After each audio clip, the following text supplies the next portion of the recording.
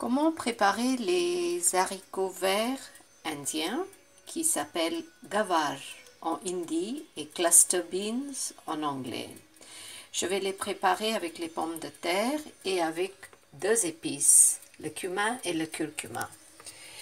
Ici, j'ai une cuillère à soupe d'huile qui est chaude.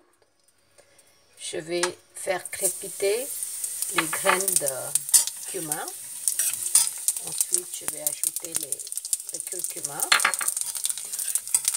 et les haricots qui ont été coupés et lavés.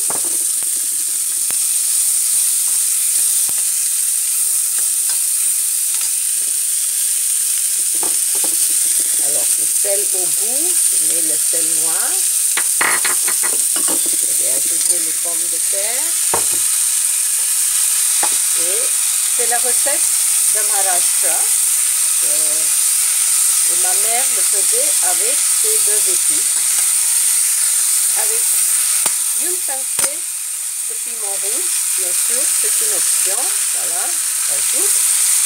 Je vais le préparer dans une cocotte minute. Je vais le fermer. Je vais ajouter un petit peu d'eau et le fermer, laisser cuire et on va revenir dans quelques minutes. Voilà, je reviens après à peine 10 minutes. Je vais ouvrir la cocotte minute. Et voilà. C'est bien cuit, les pommes de terre sont cuites, les haricots aussi. Alors, on va les servir cette assiette.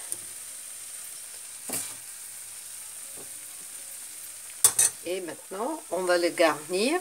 C'est typiquement au Maharashtra qu'on fait ça avec la noix de coco frais.